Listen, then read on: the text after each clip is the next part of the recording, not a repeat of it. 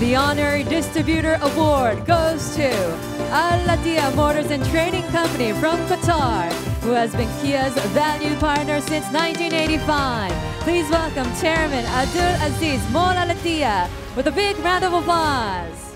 I would like to highlight a moment from five years ago when we invested over $50 million in what we call Kia City, a 4S facility that became 100% SI2 compliant last year.